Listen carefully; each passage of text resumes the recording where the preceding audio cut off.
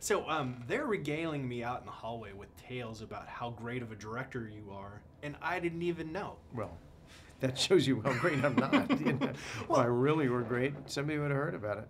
Well, they've heard about it, and they Well, love your good. I love directing. so- I'm very happy to be directing when I'm directing. So. Well, I'm wondering, what did you take from Wes Anderson, and what were you able to give to Wes Anderson as a director, having Well, come from that? From Wes Anderson, I took something you can't take. But what I really was most struck by was how how his personality was so forceful on the set. And I don't mean just because he orders people around, which he does if he has to, but he was in such total control and total charge that it relaxed everybody. That's what happens. You know, movie sets are like wild horses. And if you don't immediately set limits and but you don't have to you can do it kindly, you can do it quietly, you don't have to yell and scream. In fact, yelling and screaming is probably the least effective way to do to exert your authority. But Wes has a kind of a natural ability that even is better when he's, you know, it's even more in place when he's directing. It's not less in place. You know what to do. He can tell you what to do. Just being around him makes you feel taken care of. Um, and I and I just I, I just it, it is it really is a reminder to me that as Dorothy said at you know at the end of the Wizard of Oz, I had this all along. We all have the ability to do an awful lot of things, and when you see somebody do them as easily and naturally as Wes can accomplish his complicated vision there, it's just a lesson. It just makes you want to like it just makes you want to be yourself better and more by being around him. That's a funny thing. I, I didn't learn about like how to do shots or anything because you just kind of make your way through that as, as whatever is your way of doing that. But I, I, I, I did deeply try to absorb what he was like. Well, and you hear a lot of new directors talk about how they immerse themselves in the scene and they're yelling at actors, yell this line out.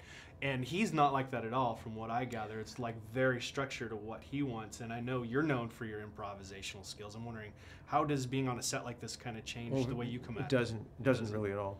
I mean, my improvisation stuff, which is from being in these wonderful Chris Guest movies, that is just unbelievably lucky and happy that I was able to stumble into that, you know, and I really love it. But it doesn't. But but you're always improvising. I mean, you have to be. Even if you're improvising, it's the same lines. You know, it, it doesn't mean you have to change things. It doesn't mean you can't memorize it. Somehow or other, you have to be able to forget what was happening and do whatever's happening at the at the time. But the magic, weird thing about acting, if it's going well, is it is like you're saying it for the first time. It is like you're making it up, but just happens to be exactly what was written by somebody three years ago in a script that's been hanging around. And I don't know how people can. I can do it sometimes, but I'm just amazed when I watch other actors. My God, I, how are they doing that right now? and I try to hook onto that train, you know, as best I can, because I think it's all improvisation. Sometimes you're improvising on text that you you already know, but that doesn't mean you don't already know how you're doing it. You don't know how you're reacting and how somebody's listening to you and how they're going to say their part.